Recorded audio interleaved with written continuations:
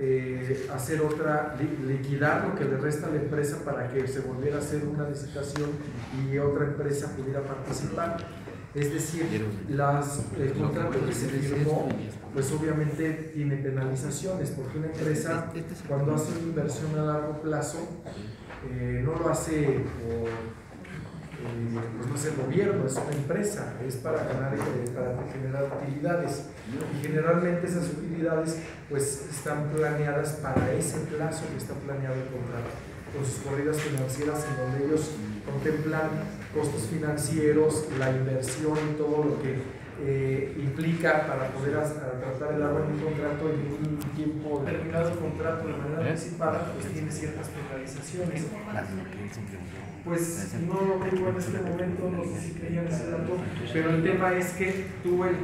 el, dato anticipado, es más, hasta cuando tú compras un coche, ¿no? Si tú vas a pagarlo antes, tiene penalizaciones. O, o de otra forma, en los primeros años va implícito eh, los intereses. Y eh, si tú te fijas que las corridas vienen al, principio, los primeros son muchos intereses y poquito a capital, y al final es casi puro capital y, poquitos intereses, de tal forma que si tú al final, en último, los últimos meses dices, te voy a pagar todo, ya es lo mismo, porque ya pagaste los intereses del banco,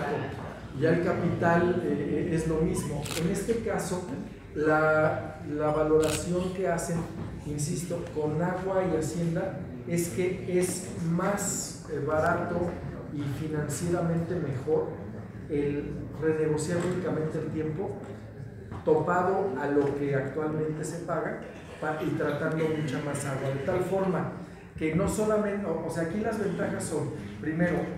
vamos a sanear a tener una capacidad de hasta 1800 eh, litros,